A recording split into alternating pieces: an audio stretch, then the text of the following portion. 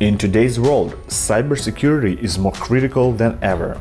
That's where penetration testing comes in. Penetration testing is like a simulated attack on your systems and IT infrastructure. It exposes weaknesses in your defense. The goal? To find and secure vulnerabilities before attackers do.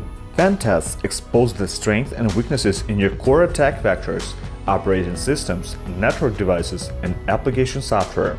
But not all pen tests are created equal.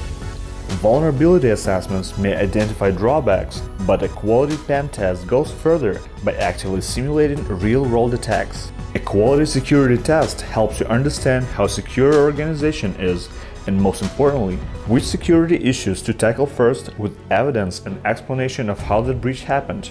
That's why third-party organizations often conduct these tests, ensuring unbiased and comprehensive analysis. The process simulates a real hacker attack, moving through stages like gathering information and exploiting vulnerabilities. The result?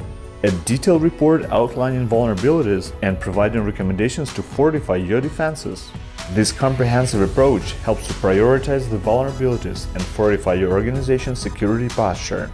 So remember, pen testing isn't just a checkbox, it's your strategic move in the ongoing battle for cybersecurity. Subscribe to our channel for more cybersecurity insights.